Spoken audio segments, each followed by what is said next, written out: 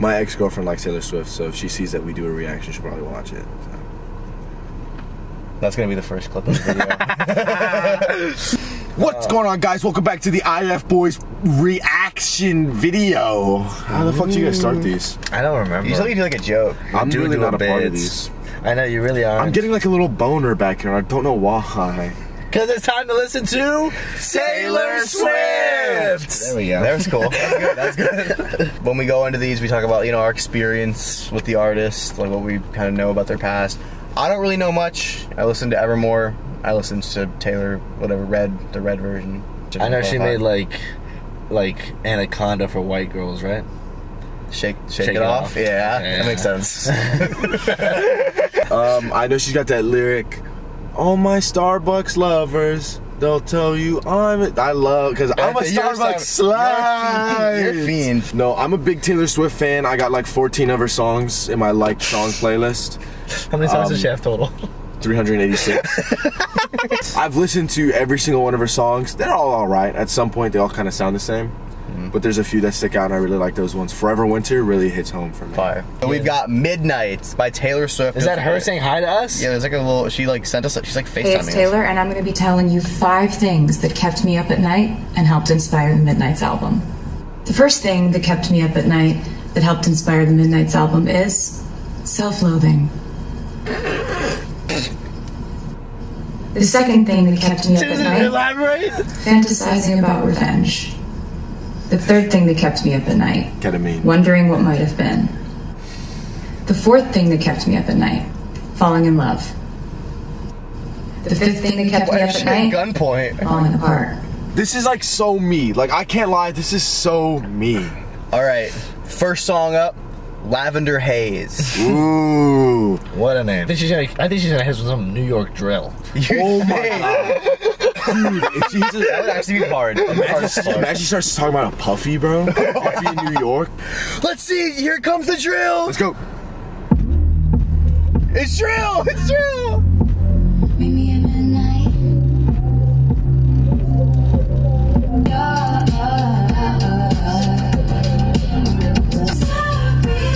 It's kind of goes. It go. Yeah. It's a song. I thought it was all right. Um, if I maybe maybe it's just because it's, it's not the kind of music I listen to. But the whole time I was I was just waiting for it. To, you know, I was waiting for the beat to kind of pick up. Oh, like Suicide Boys, huh? Yeah, yeah. I was like just I don't know. I felt like I was just waiting for more. Okay. Okay. I, th- I think it was. I think it was all right. Not bad. You know, pretty basic. Yeah, basic intro. That's Yeah. kind of how I felt. It's like, all right, let's see what else. Yeah. You know that meme of like, you know, guy who's only ever seen Cloudy with a Chance of Meatballs watches a new movie and it's like, wow, this movie's like Cloudy with a Chance of Meatballs. Oh. This is like, for me, I was like, oh, this sounds like Ariana Grande. And then I was like, that's like the only pop music I really listen to. so I was like, okay, that makes sense. Things that keep you up at night. Your upstairs neighbors playing house music at 3 a.m. And it's just like, all right. Number two, Maroon. Ooh, so we're this the first one was Yeah, well, this is like, this is, there's, maybe she'll make like four more, but Okay, maybe. first one was lavender. This one's maroon. So I'm seeing like a color theme going here. Okay, Interesting. Okay. Next one is anti-hero, so that shit just fucking right out the door. so. anti-green. Goes up Just to press that. Yeah, Just yeah. press that. explicit. Let's go. Okay, this. Fuck!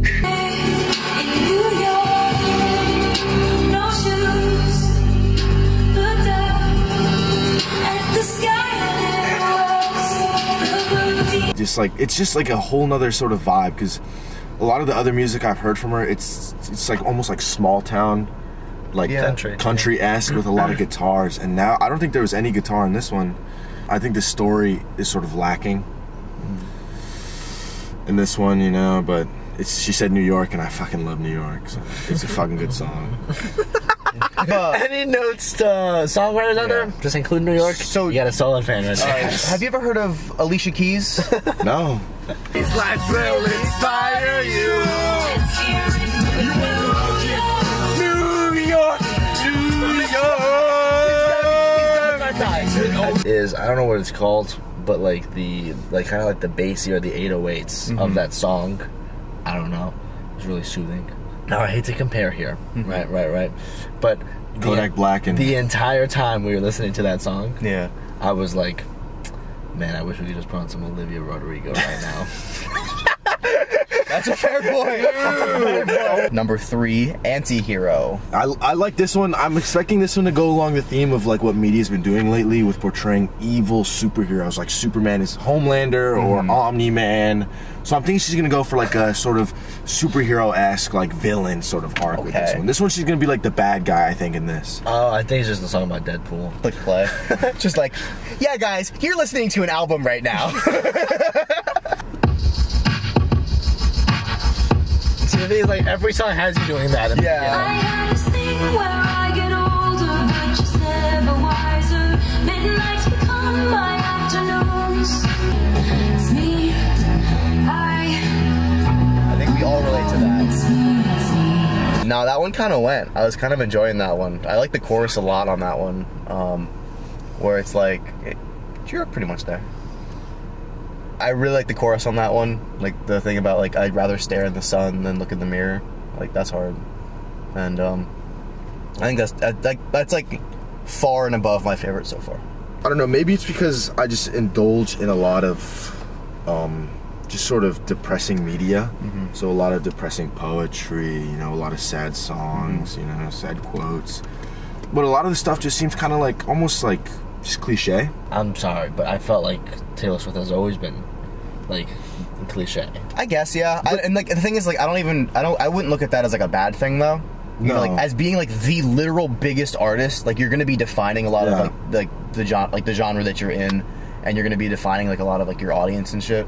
Like sure, some of the stuff she's been saying is like been said before, but I like the whole like there's like a little storyline like I think the second or third verse where she talks about like oh my family thinks I wrote them in the will and like then I die and then I'm laughing at them from hell because I didn't leave them jack, Yeah. jack shit. And I thought that was pretty funny. And like I think like even though like you know that's been written before, like I kind of like the way she said it. Yeah, I mean, when it comes to like things that she does being cliche, it's like she is a storyteller, so she always adds her different twist on these things, and it brings like a personal aspect to it. So it makes it more of like a personalized cliche, which is something that's just a lot more enjoyable. But with this, I don't know, it just didn't. I don't know. Okay. Let's check it out. Next song is oh, it's this, this is the Lana Del Rey feature. Oh, Uh, really? Snow on the beach. Yep. Really? Yeah. Really? Okay, I got a lot of hype for this one because I You love, love- yeah. Lana Del Rey. I. I love that fucking Diet Mountain Dew song that she has. That's my favorite song of all time. Yes. I don't like Lana. Okay. Well, I haven't really listened, so I'll be the I'll, you know we've got we've got a hater, a lover, and you know someone that's kind of just impartial. So let's hop into s- track four. But It's already started differently. So different. It's coming down. It's coming down. It's coming So sorry. I, I do think it's the best song so far. I felt like it was building and building and building. I was waiting for like this huge like bah, moment, right? Yeah. That never came. that big fucking moment that mm, never came, but there was the soothing like snow on the beach. uh, And the same way that you described track two is making you feel like really soothed and stuff, I literally just felt like a blanket. I just like, ah, Maybe we're just sucks. tired. Maybe we're just like sleepy little bears. I don't know. Yeah, I agree. Not my favorite, but I liked it. I was expecting more Lana, but I don't know. Maybe I'm. Maybe I just don't understand how features work. no, it's just you think about rap features, and I think pop features are a whole different ballgame. I guess. Jason, you're like snow on the beach. Am I? Yeah, you're weird but fucking beautiful. Thank you. I'm like hail on the beach. You know, it's like weird. Weird and ow, hurts. Ow. fucking likes it. It hurts. Oh my god, there's like ice hitting me and then I fall on the floor and there's sand scratching me. This sucks. This really the worst. I'm gonna kill myself. What? That's, I'm just fucking. no, then it says kid. You're on your own kid. That's the name of the next song. Uh, Summer went away. that one song. Still the yearning stays. I play it cool with the best of them. For this, I hosted parties and starved my body like I'd be saved by a perfect. You know, I like the song. I think again though, it's one of those things that's like, like how Christian was talking about, like a song that like builds and builds and builds, and there's not really a payoff. I agree. It did feel like it just kind of ended. You know, there was no real true ending. But um, no, I like listening to the lyrics and just I don't know, just listening to it all. Just I really liked it. Um, I liked that at one point it was like she was like, like almost. It seemed like she was almost looking back. I, I do understand that like the the song is like her. It's kind of like her reflecting on younger her, right? Yeah. Kind of in a sense. Yeah.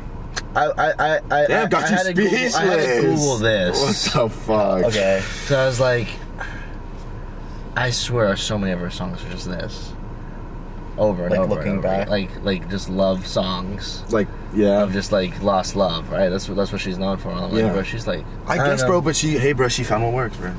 I guess.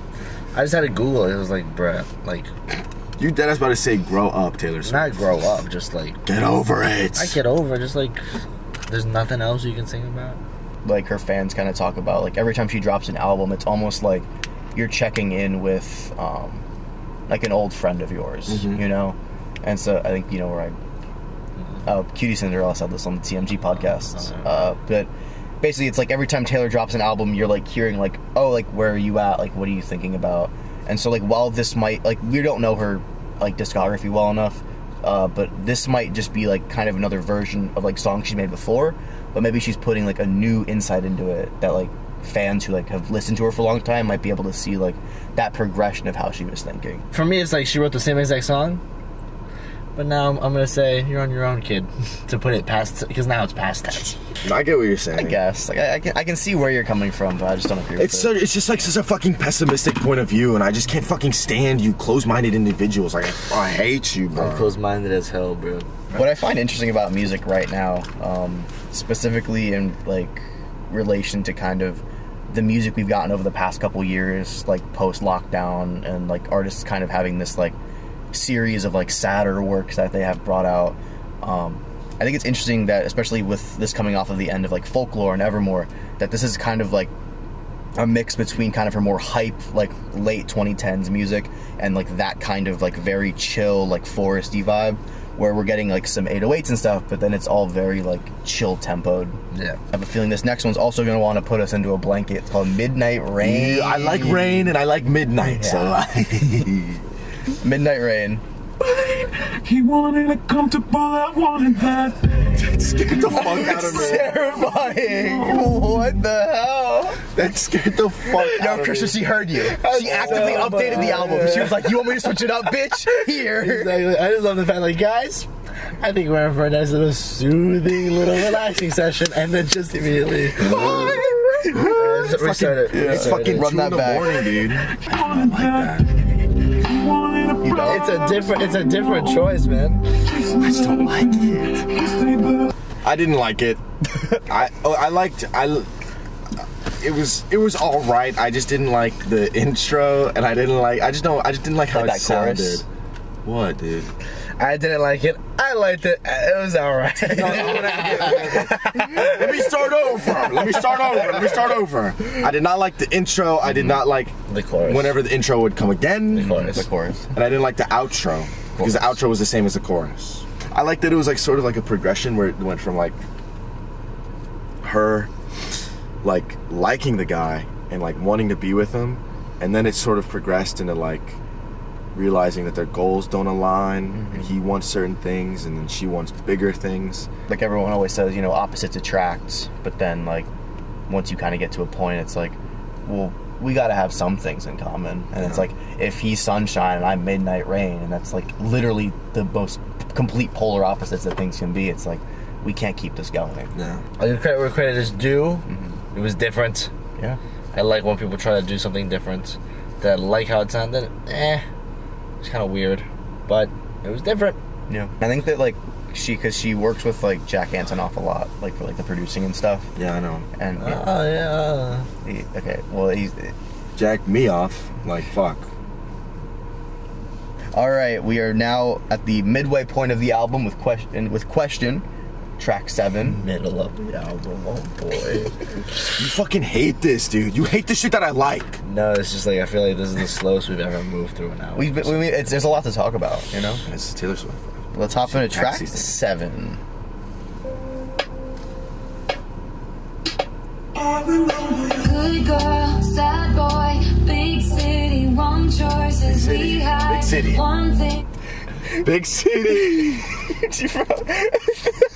that first line is like the anti- like the like main point of all and that's just Taylor that's like if you had if Taylor Swift had like a log line that was like what's Taylor Swift music about and then you were just like Good girl, sad boy, big city, wrong choices. We had one thing going on. I swear that it was something. Cause it you know It's, it's like it's like you wrote like this is like an AI giving you a Taylor Swift song.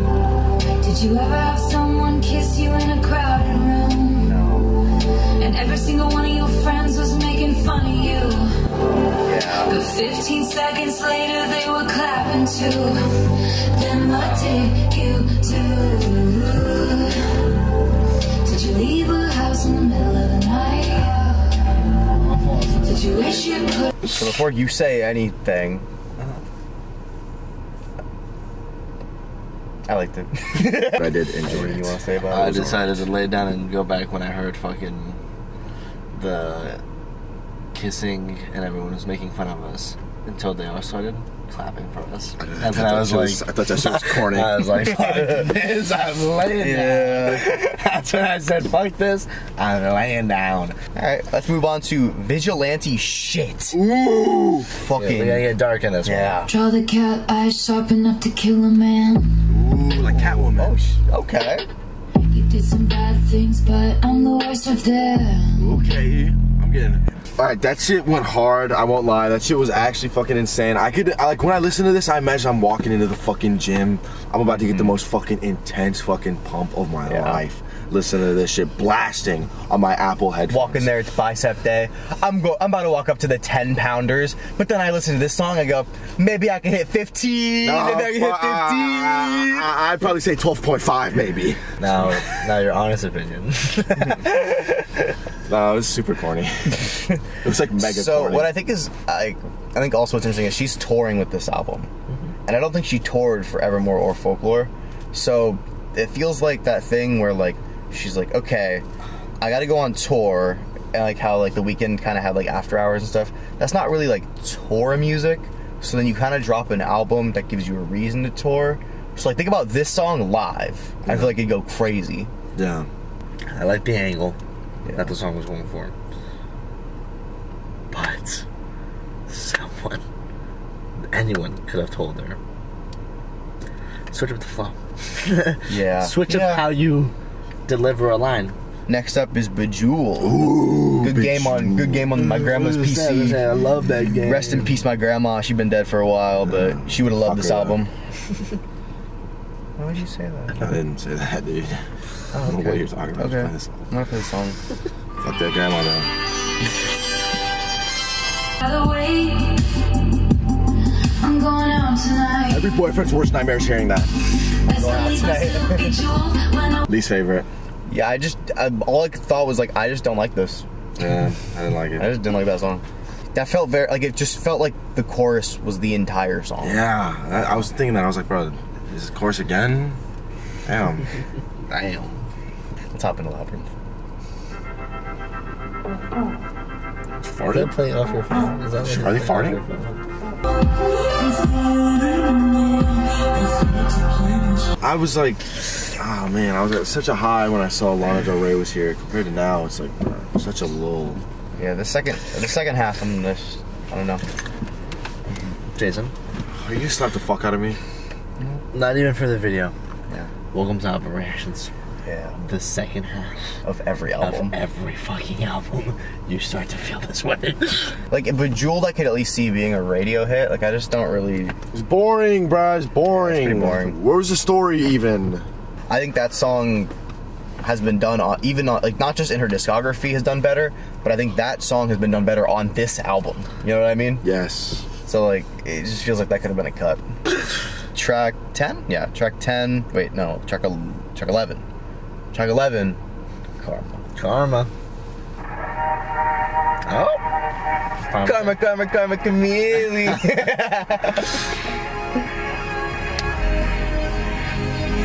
the weekend. Karma's a relaxing thought. You're the answer, you was not. Karma is the breeze in my hair on the weekend. That's a callback to when she dated the Weeknd. I don't know. I could see that being one of the biggest songs on the album. Honestly, I, was could gonna too. say. I was. Gonna I think Say, I think if I knew all the words that, that'd be fun as fuck to sing. I sing. I'm saying this. yeah.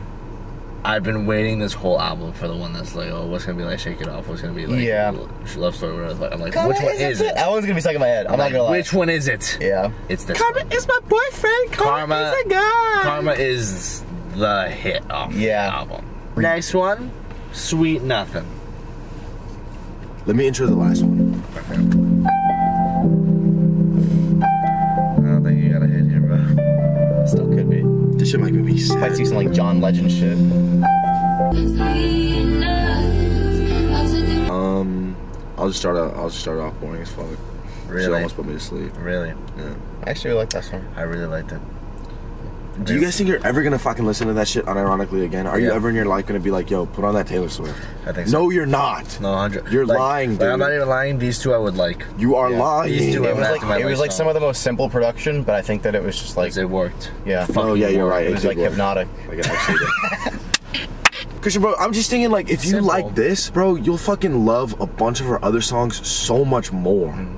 Okay, I'm like, I'm, I've never claimed to not like her. And that's what I hate about you, bro, because you started this off and you were think, you were saying shit like, oh, it just feels like she's done this before. But now that I tell you you're gonna love a bunch of her other songs more than this one, you just gotta hit me with the fucking rebuttal? What the fuck? What? Are you fuck? If I had a gun, I would shoot myself six times in the head. It's two in the morning. It's two in the morning. This man is, this man is completely. This man is going through mind. psychosis. Yeah, like, this man has no idea what he's saying. Ah, there's people outside. so next up, for the final song of Taylor Swift's Midnight's album, Let's go. Mastermind. Let's get into it. This shit better go bonkers bananas. This shit might be my favorite.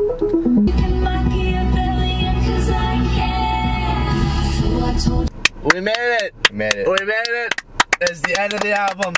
It's the end of the album. We made it. Well, boys, we made it. We can give our ratings real fast, then we'll we'll end it off with a little discussion. But I'm gonna have to give Midnights by Taylor Swift five nights that are mid out of ten. Uh, that's a good one. I like it. I like it. Thank you. I was gonna say, for me, it was four loves of my life living in New York City out of ten. I give it four 32 year olds out of 10. She's fucking 32. That she is. From like this like chart crushing icon that makes fucking hit after hit after hit type deal.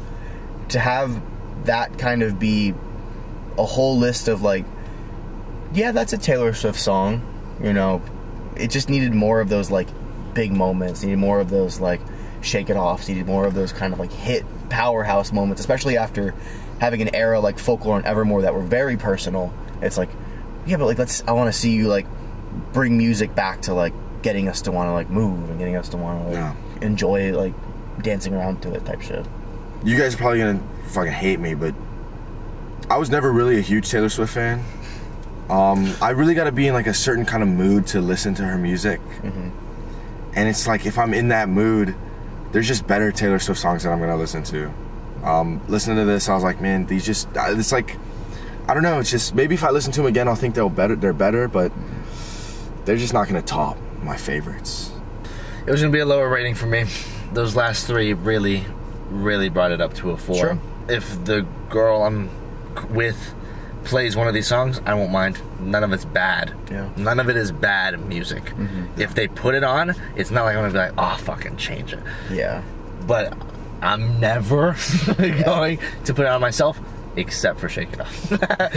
Shake It Off is the only one I will. And I think it's interesting because like it's not like like like I there are plenty of times where I actively want to listen to Olivia Rodrigo. Like I think it is such an apt comparison of like like that like Sour is just such a fucking amazing album, album. where it's like yeah, like these are Taylor Swift songs, but like Olivia Rodrigo, it feels like there was just so much like fresh. It's like someone got inspired by Taylor Swift and made something really fresh and interesting from it, you know? Yeah. Where this just feels like Taylor Swift looked at herself and was like, yeah, I like that. I'm gonna do that. It's sadder.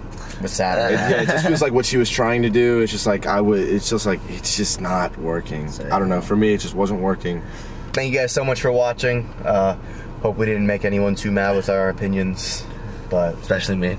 yeah. Taylor Swift more like Taylor Mid. Let us know if you want him in these more. Yeah. Taylor yeah. Swift more like Taylor Fart.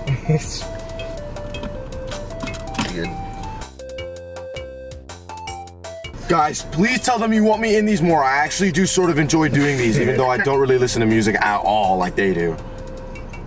Yeah. Peace.